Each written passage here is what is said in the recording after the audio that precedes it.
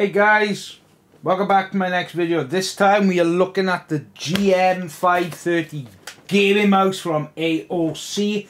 This is a gaming mouse. Now, of course, what we will do now is go directly into have a look and I will tell you about the settings and what comes in the box and so forth. So continue to watch. Okay, so this is the mouse.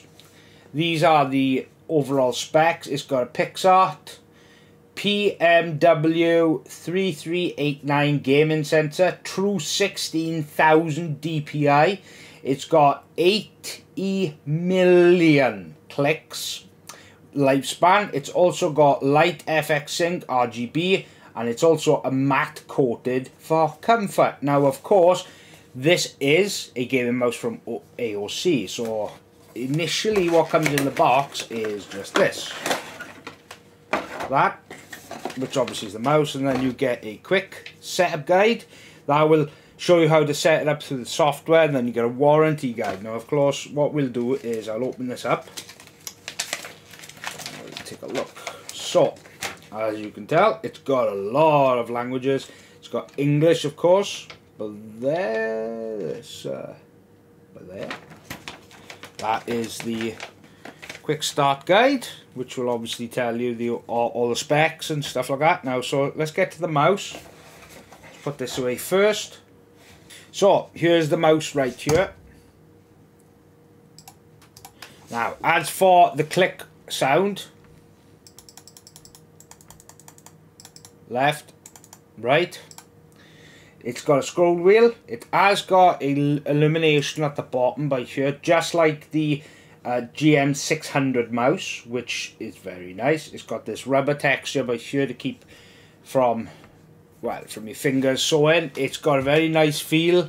And as you can see for size, my hand is a little bit big, but this feels quite comfortable.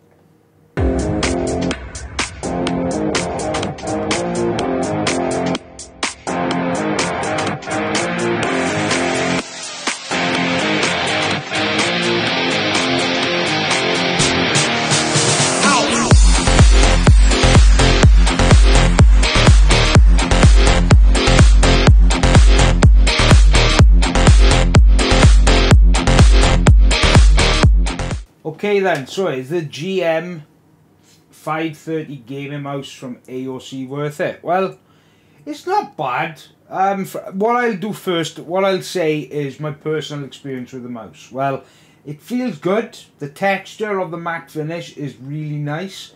Doesn't feel like it's going to slip off your hands. And obviously, uh, AOC also provided one of their um, one of their mouse mats, which feels very nice. That doesn't slip either. And of course, it does feel very nice. It's not expensive. I believe this mouse is between the, I'm going to say 20 to 30 pound mark. If it's a bit more, then I will make sure correct and put it down below for you. But the it's the software primarily with the gaming peripherals with AOC.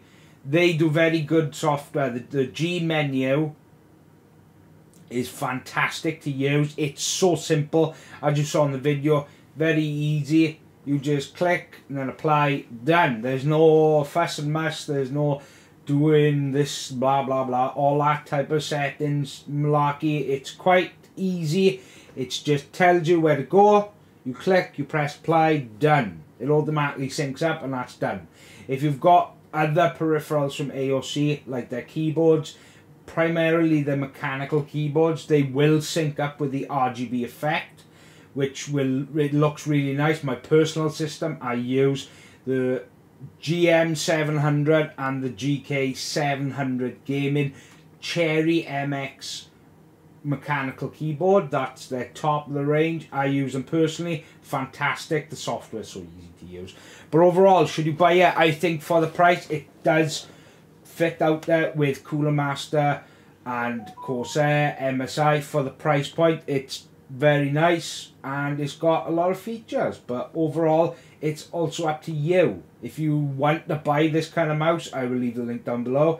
If you guys like the video don't forget to subscribe. Don't forget to like and of course this is Richard from Welshy Tech. I hope you guys have a fantastic day and a big thanks again to AOC goodbye